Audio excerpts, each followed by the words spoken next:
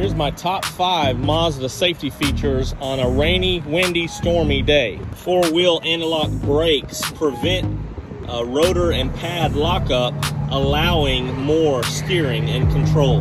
Traction control prevents tire slippage at takeoff on slick or muddy surfaces.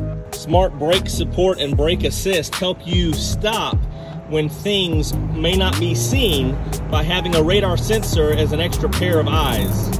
Dynamic stability control helps prevent oversteering and understeering in slick turns. Mazdas have the added convenience of rain sensing automatic wipers. Subscribe for more Mazda info.